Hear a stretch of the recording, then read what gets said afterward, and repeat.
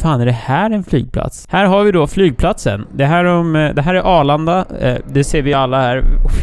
Det här är liksom runway 3-4 left. Det är här de kommer in. Och så, ja, det blir lite knas här med träden, men whatever, som jag brukar säga när jag flyger. Jag tänker att man kanske kommer upp till en flygplats. Här har vi något. Mora, Malung, Vansbro. Eller Vansbro, kanske man säger. Sen har vi här, eh, det här är då det så kallat Tower. Det är här alla transmissions kommer. Det är hit man kommer om man ska landa. Ja, ja, det är lugnt. Du kan ladda. Jag säger ingenting. Det är lite av en sväng här på flygplatsen, måste jag säga. Jag känner dock, alltså jag ska vara e- helt ärlig. Oj, det här var konstigt. Eh, jag ska vara helt ärlig. När jag tog mitt körkort i Dalarna, då fick vi åka till en flygplats och så fick vi köra längst utanför flygplatsen. Det är ju inte så osäkert att man får köra in på flygplatsen och köra på deras landningsbanor, men jag fick köra liksom längst med och då fick vi liksom gasa upp till 70 och så skulle vi bromsa. Ni vet, ni som har tagit körkort. Alltså, vad är det för människor? Vad är det för plats där? Det känns som att alla är liksom ute och åker. Jag hade någon Volvo här borta och så har vi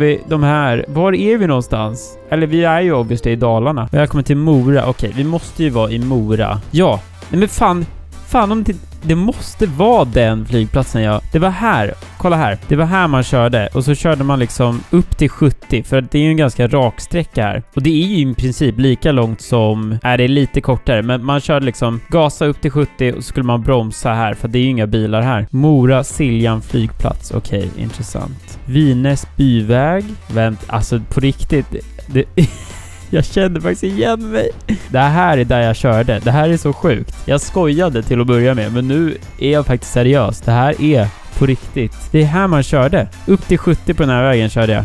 Vad fan är oddsen att det där är första rundan? Att jag har varit här och kört med min trafiklärare. Vi placerar den där och så gissar vi. Det är inte hela världen om vi inte får 25 000. Så att vi gissar på det där. Det, det var ändå en rolig runda. 44 meter. Oh! Åh, oh, vad jobbigt. Men eh, 4998, jag tycker fan att det är okej. Okay. Eh, otroligt konstig placering för att vara en karta som ska vara flygplatser. Jag hade ju slängt in min gissning, alltså typ här, om man ska vara... Alltså, jag hade lagt